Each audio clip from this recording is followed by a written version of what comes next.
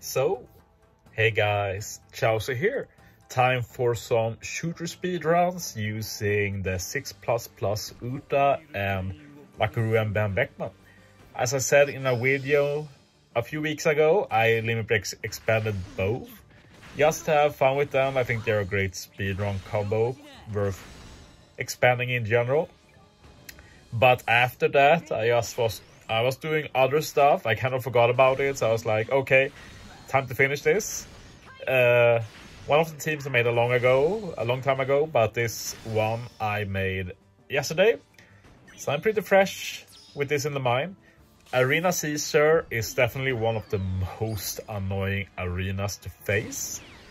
This has so much to handle, but I think of any recent team I made and definitely any non-radio team, this has to be one of the best. This is super clean uh, shooters just have so many options now.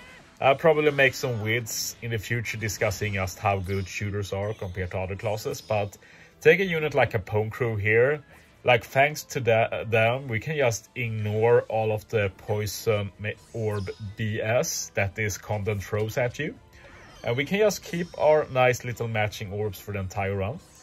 Ace here to remove the bind and Boa to remove the attack down like using two different units to remove binary attack down and still have a breeze with this content, that was basically unthinkable for me not long ago. Like usually it's okay, we need one unit here because we see, need so much stuff for stage 5, but nope. Uh, Lucius for some extra damage, and yeah, Uta does 3 turns of attack and orb. So why not sa save it for final stage, since we have to stall here for three turns. It's not really stall, it's the forced stall by the... Uh, I forgot the name of the mechanic, like... Damage meter.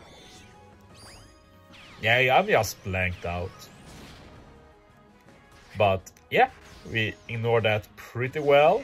And A, support, A supported the Whitebeard lets us remove all of the Despair, and we don't really care about the rest. And we've gone from stage 3 with the same orbs. We do so much damage with this combo that we don't care about hitting perfects. And yeah, Frankie here just to remove the death up basically. So yeah, moving on to the next team. Uh, this is against Arena Sasaki. So yeah, this one I made a long time ago.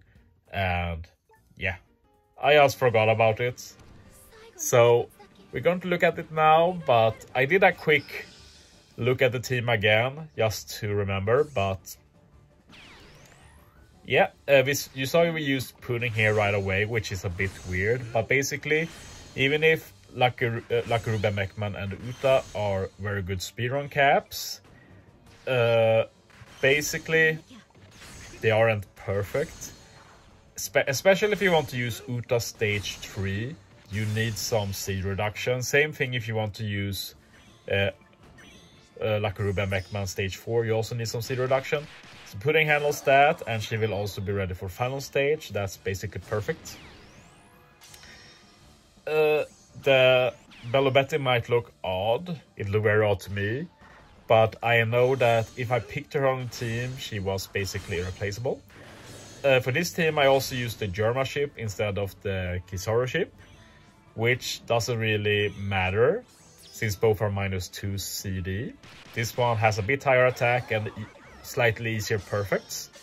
But I think I just forgot about the shooter ship to be honest. But yeah, it's fun to do this mono shooter with five different colors. And yeah, we're using Kizuna Capone here and he's very cool here since he gives three turns of beneficial orbs so this means we just bypass the whole color orbs are negative for final stage, which is the main reason I wanted this Capone on the team. Uh, purpose on the team was just that, he has the re-recruit Fuji support, so when he hits, he removes one turn of damage reduction. Add to that Lakuruan Beckman's capped ability of removing defensive effects when hitting perfects. We got rid of all the damage reduction very quick there. And Belo Betty removed the uh, attack down. I think Belo did a heal too, maybe. Not really sure, but for some reason we need the Bella on this team. And yeah, damage is a bit tight. We do copy uh, the boost though. So we can use Pudding again next turn to change the block orbs and get the buff we stored. So yeah, not the most impressive of the teams, I think, but yeah, I think it's a strength to be able to no slow speedrun a variety of content. But I have to say that this is one of my favorite captain duos to use right now. It's super dope.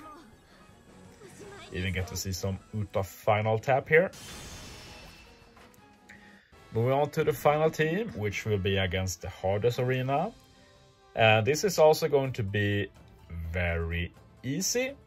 But we have a lot of sheet units here, like again, Capone Crew very much as sheet units.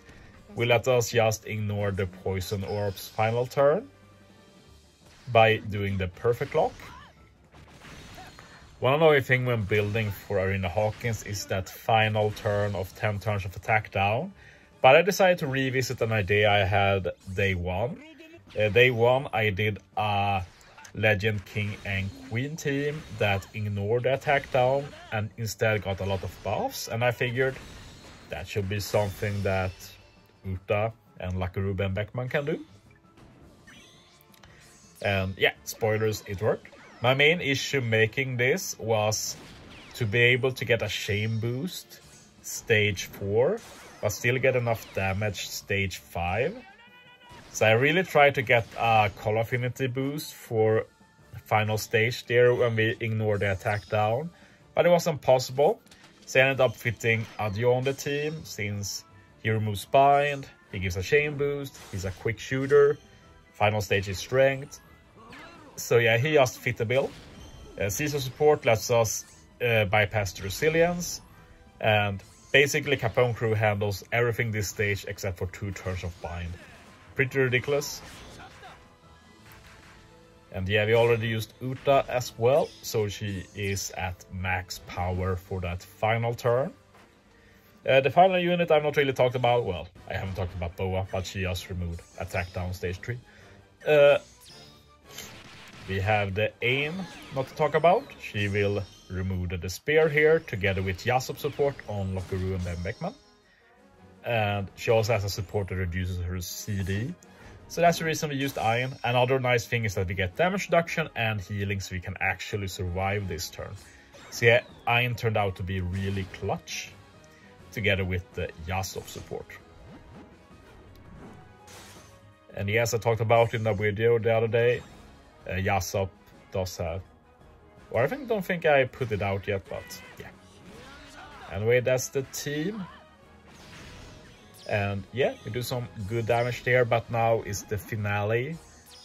Breaking through the big attack down here, which is not easy, but yeah, this is not a normal combination. This is the speedrun combo of 2023. But yeah, I do hope you enjoyed the video and look forward to more Uta and Lucky Roux shooter fun in the future. So yeah, thanks for watching guys. See you next time.